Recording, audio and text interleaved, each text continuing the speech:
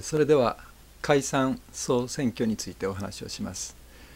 えー、急にですね浮上してきましてこの話題が。でどうも、え、12月2日または、え、1週間後の9日に公示をしてそしてその2週間後に、え、投票ということになりそうです。で今盛んにですね大義なき、え、解散とかですねえー、延命解散とか、まあ、いろんな言い方をされてますでそのことについてお話をします。であの支持率が高い時はですねその全くそういう必要はないわけですね。でところが今支持率が下がってきました。でまあ、結構ですね50を超えてたんですけどもやっぱりここに来て50は、えー、切ってます。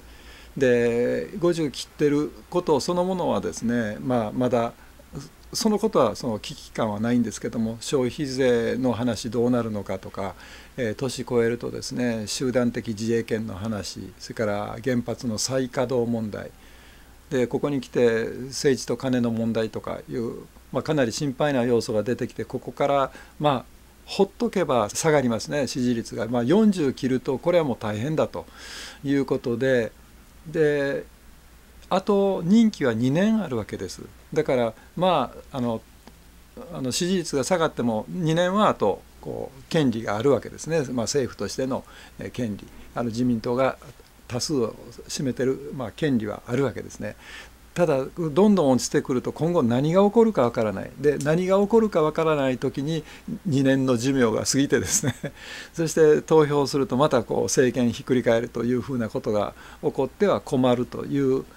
あのこれ必ずしも自民党だけの考えではなくってまあいろんなですね利害関係でやっぱり現状維持というのはみんなにとって実は有利なんですね現状維持を喜んでるのはあの与党だけではないんですね要するに社会というのは何か大ごと起こると困るという考える人は実は多いわけですね。ですからあのそういう意味でほっといたらあと2年後に2年以内に何が起こるかわからない。そしたらなるべく安全な範囲で支持率が今から落ちていくんだったらなるべくなるべく早い時に総選挙をし直すとですねあと4年延びるわけですね。総選挙に勝てばとにかく4年保証されるわけなんですね。だからこれこの先、まあ、原発とかですね集団的自衛権とかいろんな心配ありますしまた大臣があと23人倒れるとですねこれはもうえらいことになるということでもう早くやっちゃおういうことで今急にこの話が浮上してきたということをまず理解をしてみてください。でまあそのアベノミクスが成功したか失敗したかこれはまあ本当にまあ様々ですね。とにかく株が上がり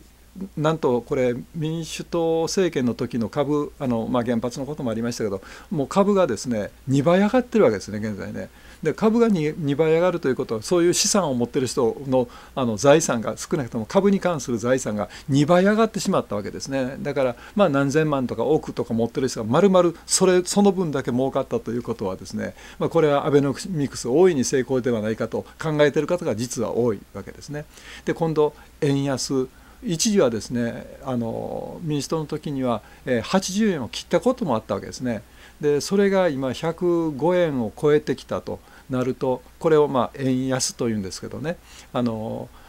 えーと、輸入、えー、輸出が非常に有利になって輸入が、えー、不利になると。ですからあのガソリンの値段がですね、まあ、上がるとか、えー、輸入のいろんな輸入雑貨も含めて全部上がるわけですね、えー、それに対して輸出は有利だから例えばトヨタとかパナソニックの、まあ、株が上がるというかあのあるいは外国の人が日本に来る時にあの買い物がすごく有利になる。逆に日本の観光客が海外に行くと不利になるというふうな、まあ、悲喜こもごもというか嬉しい人かなあの悲しい人、まあ、両方出ると。で株に関しては、まあ、株を持ってる人は、まあ、みんな喜ぶ、まあ、こんな状態ですね。でとにかくあの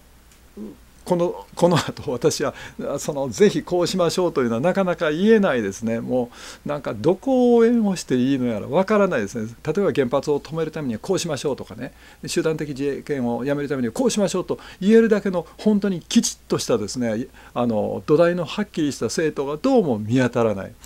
だからその連合してですねあの野党連合で強い強いこう路線をというのがなんかできないなんかですねもうくちゃくちゃくちゃくちゃなってますね。私は今あの注目しているのは沖縄選挙です。やはりここでですねやはり野党の流れが強くなることを願っております。